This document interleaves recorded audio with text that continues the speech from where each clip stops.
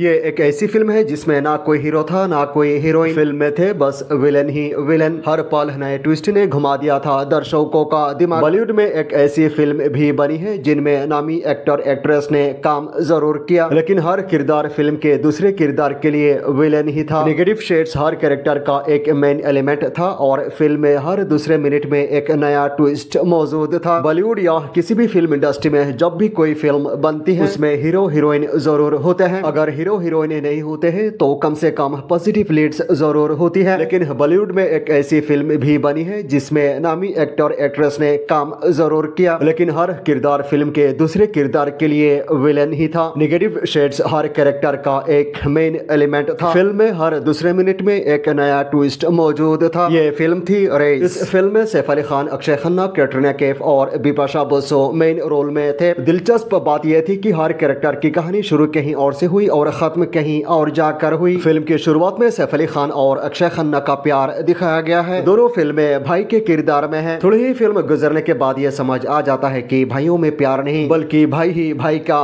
दुश्मन है फिल्म में भाई भाई की वापसी रिलेशन का कंफ्यूजन तो है ही लेकिन किसकी लड़ी लव है ये सस्पेंस भी बहुत देर तक बना रहता है फिल्म की शुरुआत से कैटरीना कैफ सैफ अली खान की लॉयल एम्प्लॉय दिखाई देती है और उन पर फिदा भी नजर आती है जबकि होता कुछ और है इसी तरह विपाशा बसु आंसू अक्षय खन्ना के साथ नजर आती है जबकि उनकी हकीकत भी कुछ और ही होती है इस फिल्म को अब्बास हमस्तान ने डायरेक्ट किया था रेस फ्रेंचाइजी की तीन फिल्में बन चुकी हैं जिसमें पहली फिल्म साल 2008 में आई थी जबकि दूसरी फिल्म रेस टू साल 2013 में आई थी दूसरी रेस में सैफ अली खान दीपिका पादुकोण और जॉन अब्राहम थे रेस थ्री साल 2018 में आई थी जिसमे सलमान खान नजर आए थे आज के इस एपिसोड में बस उतना ही वीडियो को लाइक करे शेयर करे और चैनल को सब्सक्राइब करे फिर मिलेंगे एक नए वीडियो के साथ तब तक के लिए नमस्कार